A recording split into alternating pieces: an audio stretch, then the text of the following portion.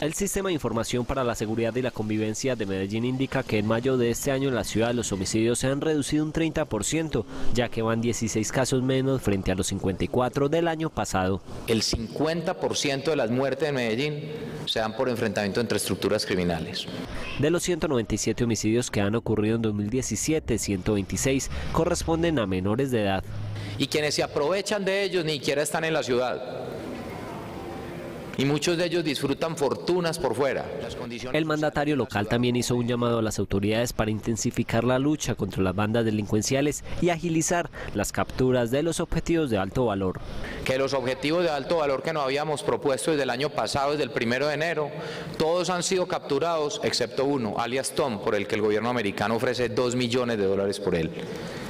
Y es increíble que un país no pueda encontrar un delincuente como este. La alcaldía de Medellín también indicó que entre enero y mayo de 2017 el hurto a personas pasó de 818 casos a 357.